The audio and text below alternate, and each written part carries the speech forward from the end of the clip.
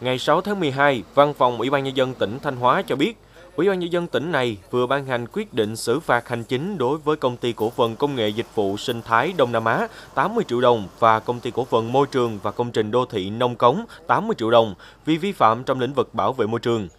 Như báo Tuổi Trẻ Online đã đưa tin, nhận được tin báo của người dân, Công an huyện Nông Cống, Thanh Hóa đã kiểm tra, phát hiện công ty cổ phần công nghệ dịch vụ sinh thái Đông Nam Á thuê hai xe đầu kéo đến doanh nghiệp ở tỉnh Ninh Bình lấy xỉ thải từ quá trình sản xuất silicon và chất thải công nghiệp thông thường rồi vận chuyển đến bãi rác ở thị trấn huyện Nông Cống. Doanh nghiệp trên không xử lý chất thải công nghiệp mà lại ký hợp đồng chuyển số lượng chất thải này cho công ty cổ phần môi trường và công trình đô thị Nông Cống xử lý, đổ trộm ở bãi rác vùng quê. Do vậy, Ủy ban Nhân dân tỉnh Thanh Hóa đã ban hành quyết định xử phạt vi phạm hành chính tổng 160 triệu đồng đối với hai doanh nghiệp có hành vi vi phạm nêu trên, buộc doanh nghiệp chuyển trả số chất thải về nơi xuất phát để xử lý đúng quy định.